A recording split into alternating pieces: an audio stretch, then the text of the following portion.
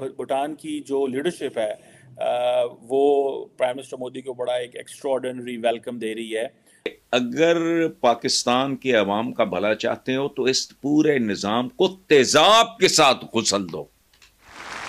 तेजाब के साथ घुसल का मतलब क्या है? कि ये आम डिटर्जेंट ये सर्फ मर्फ जो भी होता है ये साबुन सुबुन से साफ़ नहीं होना ये। तेजाब से रगड़ो इसको। मेडिसिन एंड तिब के शोबे भी में भी उन्होंने खातिर खा तरक्की की है, जिसकी वजह से दुनिया का रुख इंडिया की तरफ़ हो रहा है। आप देखें कि 70 परसेंट ऑफ़ द मेडिसिन अब इंडिया उसमें खुद कफील हो चुका है।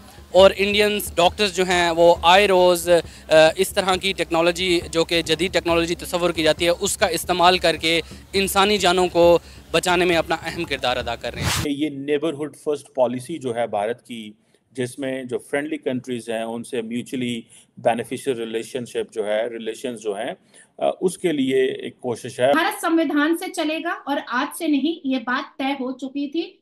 नवंबर 1949 को ही तय हो चुकी थी तो। जितने भी ये मुस्लिम ऑर्गेनाइजेशन है उसको खत्म करने की ज़रूरत है सैटरडे को मीर अली एक गाँव है खैबर पख्तूनख्वा में वहाँ पे एक ट्रक आया जिसमें बारूद भरा हुआ था और वो हमारे फौजियों की छावनी पे आया और वो फट गया और उसके नतीजे में छह पाक फौज के जवान जो हैं वो बेचारे अपनी ज़िंदगी से हाथ धो बैठे लोग जो यहाँ से पाकिस्तानी जाते हैं वो बेसिकली वहाँ जाकर करते हैं स्कैम और इलीगली तौर पे लाइक लो वेजेस पे जाके वहाँ पे कर देते हैं, अपना वर्क स्टार्ट उनको बेसिकली वर्क परमिट मिलता है थोड़ा सा like eight hours per day का. लेकिन वो करते हैं लाइक सिक्सटीन आवर्स पे जाके भी कर रहे होते हैं तो इस वजह से जो उनकी रेपुटेशन है वो ख़राब होती है, जो पाकिस्तानी इसको नहीं रिकमेंड कर रहे सर फाड़ दें. मैं होता तो कहता हूँ, उसका पेट फाड़ दें. पाकिस्तान कहाँ पहुँच गया है? शर्म आती है मुझे इसे, इस्लामी जमहूरिया के तो मेरा वतन है. भूटान आपको पता है एक छोटा सा लैंड लॉक कंट्री है जो कि दुनिया की दो बड़ी इकोनॉमीज के दरमियान है इंडिया और चाइना के बीच में। कि अगर वो किसी को सर्टिफिकेट देता है तो वाकई वो मुल्क ऐसा ही है या उसकी नेवी ऐसे ही है या इस तरह की बात है ऐसे वो सर्टिफिकेट दे। उन्होंने काम तो बहुत बड़े बड़े किए ना इंडियन ओशन में काफ़ी ज़्यादा उन्होंने जाने बचाई हैं। ना एक वेल डेवलप्ड कंट्री जो है और जो हमारे ऊपर रूल भी कर चुका है पहले उन्होंने अगर मुश्किल टाइम में किसी को हेल्प के लिए बुलाया है तो उन्होंने इंडिया को इंडिया को सिलेक्ट किया है। और दूसरी बात यह है कि हर कंपनी जो मल्टी नेशनल कंपनी है बड़ी बड़ी ऑर्गेनाइजेशन है they want Indian employees in their company क्योंकि उन्होंने साबित किया है अपने काम के हवाले से अपनी मेहनत से अपनी कोशिशों से। ट्रांसप्लांट एक तो पाकिस्तान में एज सच इतना ज़्यादा कोई उसमें कामयाबी नज़र भी नहीं आ रही। आ, लेकिन यह है कि इनिशिएटिव लिए जा रहे हैं पाकिस्तान में भी और इस हवाले से भी तवज्जो दी जा रही है। लेकिन इतना कॉस्टली है वो इलाज कि एक आम शख्स उसको अफोर्ड नहीं कर पाता। तो ये वजह है कि हमारी जो गरीब आवाम है उसका इलाज तो यकीनन मुमकिन ही नहीं है इस हवाले से। तो जहरी बात है वो रुख करते हैं इन जैसे ममालिक का जहाँ उनको आसानी से आ, इलाज की सहूलत मैसर हो। तो इंडिया उनको एक अच्छा ऑप्शन नज़र आता है। उनकी लाइफ और ये जितने भी लारा है भाषमी हैं या जितने भी ये ये जावेद और साजिद हैं इनको फास्ट ट्रैक कोर्ट के तहत बीच चौराहे पर तीन महीने के अंदर फांसी पर लटका देना चाहिए। देखिए भूटान एक एक अकेला साउथ एशियन मुल्क है जिसने इंडिया के कहने पे so far resisted the China's belt and road initiative ये बेशर्म बेहया बेगैरत। तवायफों से बदतर लोग हैं। यानी इस्लामी जमहूरिया पाकिस्तान में मुसलमान फंक्शनरी छोड़ दो। देखो डिप्लोमेट बात करने की ज़रूरत नहीं है।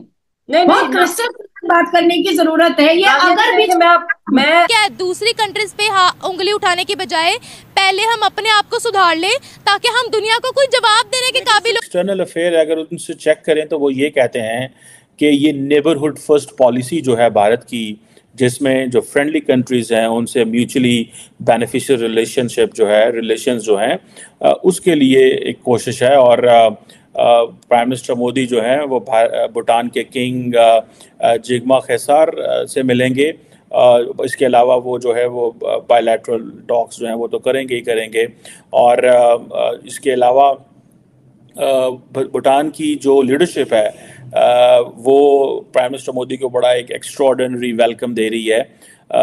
और कहा यह जा रहा है कि जो टॉपके साहब हैं वो दोनों मुल्कों वो एंड मोदी दोनों जो हैं वो दोनों मुल्कों के ताल्लुकात को रिव्यू करेंगे particularly in shape of connectivity energy hydropower people to people exchange and development cooperation के हवाले से।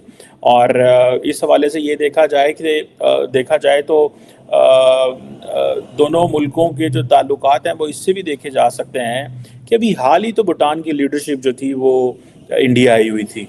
और वहाँ पे ये डिस्कशन हुई और वो दोबारा जो है वो फ़ौर बल्कि आप कह लें इसको कि वो पहुँच गए हैं। और भूटान आपको पता है एक छोटा सा लैंड लॉक कंट्री है जो कि दुनिया की दो बड़ी इकॉनमीज़ के दरमियान है इंडिया और चाइना के बीच में। और जिसे ये कह लें कि एक समझे इंडिया जो है वो भूटान को एज ए बफर स्टेट समझता है।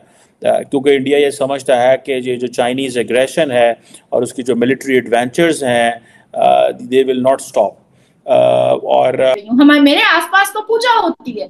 मैं आपसे पूछ रही हूँ कि रेलवे ट्रैक क्या पाक जगह है? रेलवे ट्रैक क्या मुसल्ला बिछाने की जगह है? रेलवे ट्रैक पर क्या हमारी नमाज़ हो सकती है?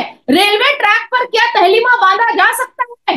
क्या रोड पर जब लोग चप्पल पहन करके चलते हैं वहाँ पर मुँह देते हैं वहाँ पर हक देते हैं वहाँ पर दारू पी करके सो जाते हैं वहाँ पर थूक फेंकते हैं वहाँ पर गंदे कचड़े फेंके जाते हैं वहाँ पर मुसल्ला बिछाया जा सकता है हमारे इस्लाम की तरफ़ से? हमारा इस्लाम इस बात की इजाज़त देता है कि तुम कहीं पर भी रोड पर तुम मुसल्ला बिछा लो जानमाज बिछा लो तुम रेलवे ट्रैक पर बिछा लो तुम ब्रिज पर बिछा लो ये ये हमारा इस्लाम क्या इजाज़त देता है? क्या क्या करना क्या चाहते हैं भारत के मुसलमान? और देखिए देखिए अवेसी का अवेसी का हरकत और बुखारी का हरकत। और कांग्रेस इधर एक क्लिप नहीं किया। ये क्लिप मैं दिखाना चाहूँगा कि ये बकायदा तौर पे रेलवे ट्रैक है। मतलब ये भी नहीं प्लेटफॉर्म नहीं है रेलवे ट्रैक है जिसके ऊपर बहुत ज़्यादा मुस्लिम हमें जो सा वो इबादत करते नज़र आ रहे हैं। और ये हिंदुस्तान का ही है मुझे वहाँ से एक बहुत ही अज़ीज़ ने एक वो बल्कि मीडिया से ही है उन्होंने ये भेजा है। तो ये देखिए, यहाँ पे मुसलमानों के लिए मैं ये कहना चाहूँगा कि मतलब वो किसी भी किसी भी कंट्री के मुस्लिम है। मैं ये नहीं कहता इंडिया के या पाकिस्तान के, मैं सवाल पूछना चाहूँगा, कहना भी कुछ नहीं चाहूँगा कि क्या जब ट्रेन चलती है तो ट्रेन में जो टॉयलेट होते हैं, जो वॉशरूम होते हैं, उनका जो भी गलाजत होती है, जो गंद होता है, वो कहाँ पे जाके गिरता है? वो इसी ट्रैक के ऊपर गिरता है और फिर हम अगर उसी के ऊपर बैठ के जायनमाज बचा के, मुसल्ला बचा के इबादत करेंगे तो क्या वो मतलब जायज़ है इस्लाम में? ये मेरा सवाल है, जितने भी मुसलमान पाकिस्तान से, हिंदुस्तान से देख रहे हैं, सिर्फ़ सवाल कर रहा हूँ। मैं ये नहीं कह रहा ऐसा करें, ना करें, वो आपका एक अपना फेल है, अपना काम है। नादिया जी, आप क्या कहना चाहेंगे? आप तो डेफिनेटली इस चीज़ को बहुत बेहतर तरीके से समझती हैं। ये पश्चिम बंगाल के रेलवे ट्रैक पर नमाज़ पढ़ी जा रही है और ये पूरे भारत में वायरल है। इवन अगर पाकिस्तान के अवाम का भला चाहते हो तो इस पूरे निज़ाम को तेजाब के साथ गुसल दो। तेजाब के साथ गुसल का मतलब क्या है? कि ये आम डिटर्जेंट, ये सर्फ मर्फ जो भी होता है ये साबुन सुबुन से साफ़ नहीं होना ये। तेजाब से रगड़ो इसको। फिर लोगों को सुख सुकून मिलेगा अदरवाइज़ सवाल नहीं पैदा होता। ये चपड़कन आती है चौबीस पच्चीस करोड़ यहाँ बेचता क्या है? पाँच सात सौ खानदान है, उनके लिए मुल्क बना खत्म। या उन्होंने उसको वहाँ पहुँचा दिया है। अभी बात कर रहे थे हम प्रोग्राम में उसकी, कच्चे के डाकुओं की। उनके सरप्रस्त कौन है? यही लोग हैं। अली अमीन गंडापुर ने तो कहा, उसका सर फाड़ दें। मैं होता तो कहता हूँ, उसका पेट फाड़ दें। पाकिस्तान कहाँ पहुँच गया है? शर्म आती है मुझे इसे, इस्लामी जमहूरिया के तो मेरा वतन है। जन्मभूमि जिसे कहते हैं। कि जितने बदमाश हैं, ये फंक्शनरीज इनमें से कोई दो, चार, पाँच परसेंट इंसान के बच्चे होते हैं अदरवाइज़ इनका लाइफस्टाइल देखें, तनख्वाहें देखें, औकातें देखें, इनका बैकग्राउंड देखें। क्या है? मैं ये सिंबॉलिक बात हो रही है। वो जो अली अमीन गंडापुर ने कहा इसका सर फाड़ दें, बात उस आदमी ने भी सिंबॉलिक ही है, ये वहाँ तक आ चुका। देखें, हमारे पंजाब में आपके यहाँ भी मुतबादल इसका कोई ना कोई होगा। अमीन खान साहब, हमारे यहाँ कहते हैं, डंडा पी रहा बिगड़े बिगड़े ये बेशरम बेहया बेगैरत। तवायफों से बदतर लोग हैं। यानी इस्लामी जमहूरिया पाकिस्तान में मुसलमान फंक्शनरी छोड़ दो।